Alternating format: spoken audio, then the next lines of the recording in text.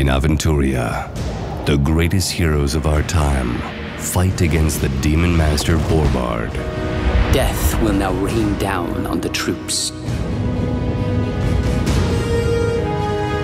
Fearlessly, the brave Princess Sadja also joins the battle. A thousand years from now, people will tell tales of my deeds and whisper my name in awe. Either you'll achieve the impossible, or you'll descend into the deepest madness. But lost in the war and forgotten by time, the destiny of the princess remains unsettled.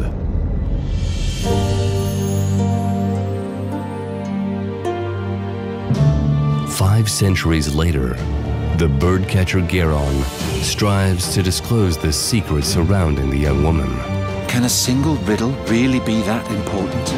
Only if he succeeds to solve the enigma, an old spell can be broken. And the love of his life will be freed of her curse. And next, we'll make you a fairy again. Little does he know that the present will soon transform into a dark shadow of times past. The future of this world is in our hands. However it may end, it will change Aventuria forever.